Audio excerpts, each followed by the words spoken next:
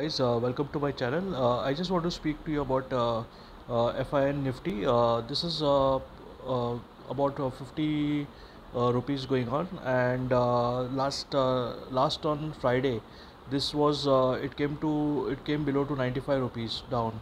Okay so the expiry date on this is 15th march and uh, it's 16700 call. So we'll just keep our fingers crossed and see what would be the outcome. If suppose for example if the market opens in uh, red then this would go down further and uh, it would be close to uh, it will be close to uh, like say uh, low lowest price like 0.5 0.05 so we'll just keep up if, if tomorrow is a bullish market that is on monday so this would again there is chances of uh, btsd traders making money.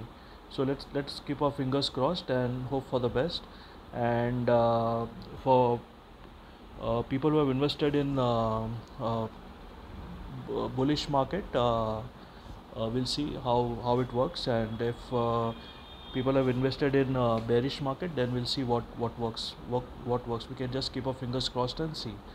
And we do not know as to what will happen tomorrow but uh, there's a good news that bjp has won the election so we can expect something good to come out of the market tomorrow but uh, we'll have to still wait and see what what is the outcome.